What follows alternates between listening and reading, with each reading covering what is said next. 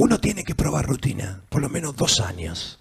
Para subir a Viña, antes de dos años, no puedes saber si una rutina es buena o no.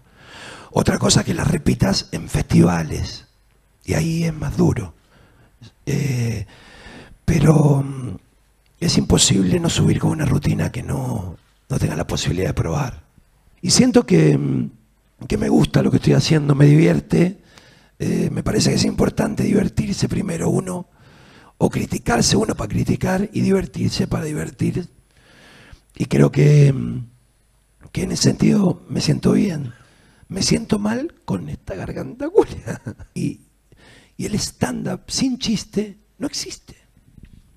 Es un chiste con una historia.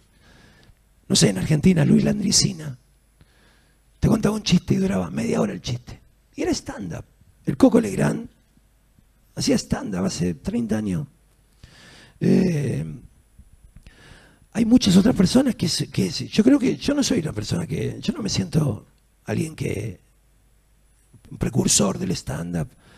Siento que fui un emprendedor en Chile con, con el cachafaz y con la fuerza de todos los comediantes que trabajamos ahí. Eh, me imagino que se me va a pasar.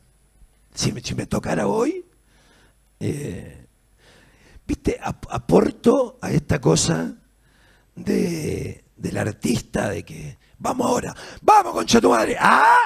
Y empezaría a, subirme a ese carro. Me ha pasado otras veces. Siento que el ¡ah! culiado me tiene la zorra.